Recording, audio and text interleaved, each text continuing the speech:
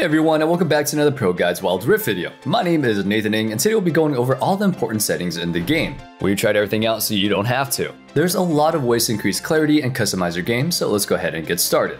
Wild Rift's most customizable setting is the ability to totally change the way that your HUD layout looks. You can move pretty much everything on the screen, from your summoner spells to the enemy champion portraits. It's really important that you spend some time messing around with your button layout, figuring out the most comfortable way to use your important skills. We won't spend too much time on the graphics and sound options since those are entirely up to you. If your game is struggling to run, lower your graphics a little bit and you can maximize your performance. We're going to be focusing on the settings and options that can improve your gameplay, so make sure your game is running smoothly first. Our first major suggestion is to move your skills and scoreboard to the right more, making it easier to see the action that's going on in the game. The last thing that you want is to get hit by an Ashe ultimate because it's covering up your buttons. To do this, look for more customizable button layout in the control settings. Take a look at the default layout and one of our custom made ones. The default layout has some buttons towards the bottom center of the screen, which means that you'll lose valuable time when you're going from using your skills to your flash. To solve this, we moved over our summoner spell to the right side, adjusting the space between the skills and auto attacks as well. Our goal here is to put all the important things on the right side with the least used buttons on the left side. If you're worried about accidentally pressing something, feel free to adjust the spacing to your needs. If you ever heard the term fat fingering your spells, it really does take into account, quite literally, when you're playing a mobile game. After you figure out where to set up your combat abilities, you should make sure that everything is easily visible on your screen. I suggest moving your scoreboard and alternate camera over a bit just in case. Lowering the size of your buttons is a great way to get a totally comfortable setup. Try to adjust them based on your screen sensitivity and finger size.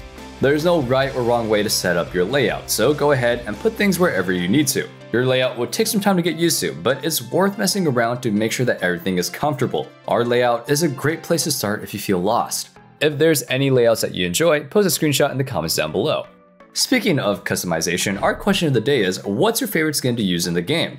I'm a huge fan of the KDA skins, especially Ahri's. Um, she's kind of pretty, and doesn't matter. Let us know your favorite down in the comments below. So let's go back to our settings.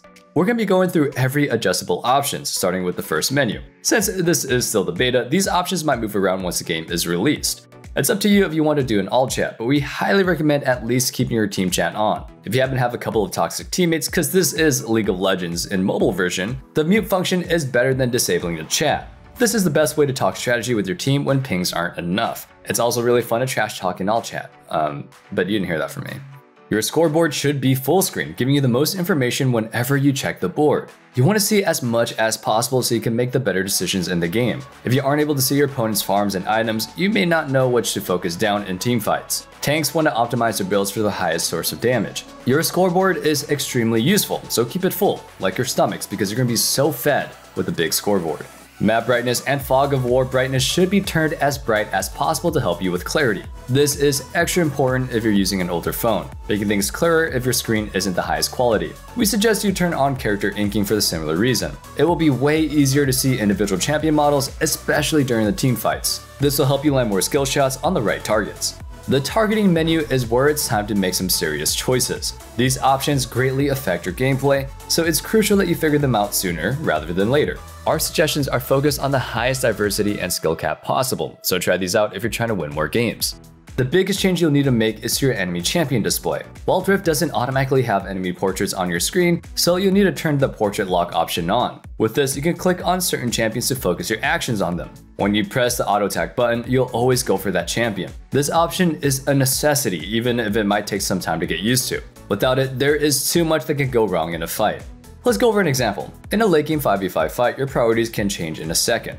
Once you get better at Wild Rift, you'll often switch between focusing two or three champions in a fight. If you can't select the enemy Varus, you'll never hit him unless he is low or close to you. I suggest trying out different button layouts if needed, including the ones that we suggested before. Having the champion's icon near your finger will make switching targets way more consistent, allowing you to make more precise decisions on the fly.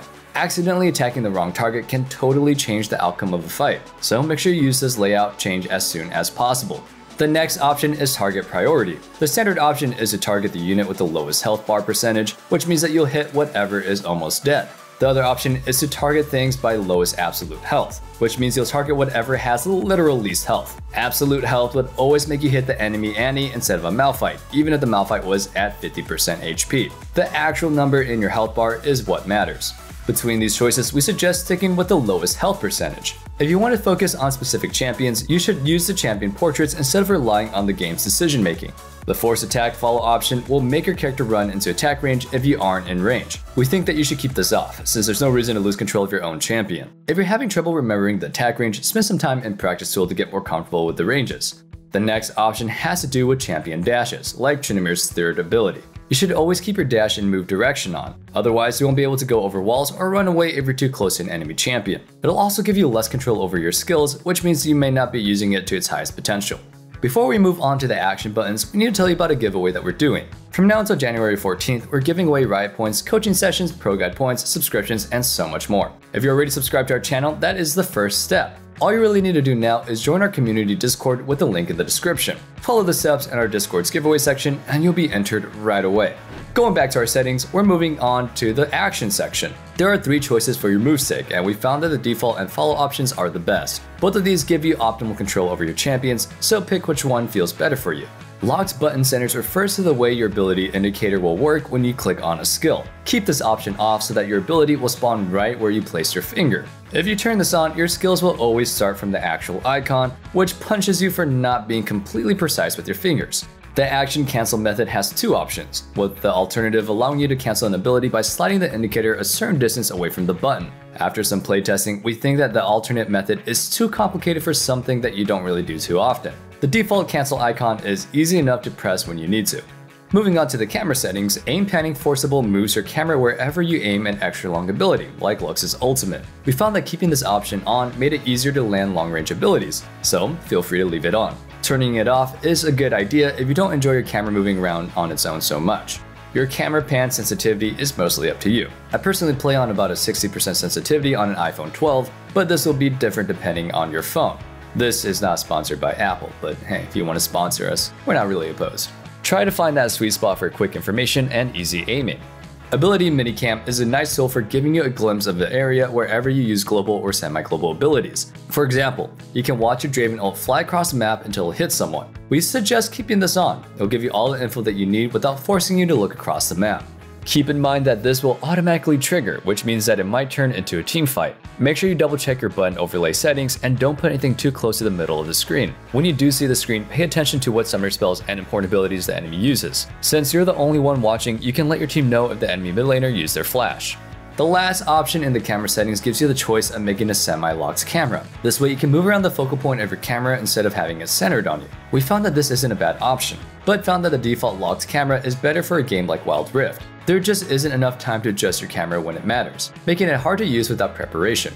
The final section goes through the utility settings in the game. The first one is called the minimap autopathing, giving you the option to click your minimap to move forward. You can also hold down the area to view it, giving you the flexibility with your minimap. For these reasons, we suggest keeping autopathing on. While your character is moving, you can look around the map and gather information that you wouldn't be able to do while you're going somewhere. If you find yourself accidentally clicking the map, feel free to turn it back off. The next option is warding aim assist, where the game tries to help you place wards inside of bushes when possible. We found this to be pretty annoying, so you should probably turn the setting off. There are a lot of times you don't really want to ward a bush, and fighting with the aim assist is also frustrating. Level up suggestions is a great setting, giving you the standard leveling order for your abilities. If you're unfamiliar with the champion, Wild Rift will tell you exactly what you should level up. You can always feel free to level up whatever you want to, so this option isn't actually hurting your gameplay at all. Once you're an expert in the game, feel free to turn the suggestions off. On the other hand, auto level up should always be turned off. This way you have control over what skills you're investing in. With how versatile the game is and how ever-changing it could be, you can't rely on the automated system for making choices. For example, Janna mains decide on leveling their 2 or 3 ability based on how the game is going. Sometimes you need the big shield and the games want you to deal damage. The order of abilities will change upon your playstyle, so feel free to try maxing different things first. If you have auto level up on, you won't be able to make any of these important choices. We found that the 10 second auto setting is great if you get distracted and accidentally forget to level up before a fight. That will wrap up our ultimate guide for Wild's Rift. Some things like champion portraits will take you some time to get used to, but you'll thank yourself later. Don't forget to answer our question of the day in the comments. We really love to see how you guys feel about Wild Rift. Thank you so much for your support. As always, thanks for watching, stay safe, stay healthy, and have a wonderful day. Peace.